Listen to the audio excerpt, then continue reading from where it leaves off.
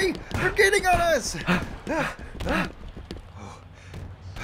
um, uh... Oh! A quantum translocator! Perfect! Alright, stand back! Come on, David! We can teleport across! Why would I use 343's redundant equipment when teleporting's always been in Halo? You mean the portals at bases? No, rubber banding.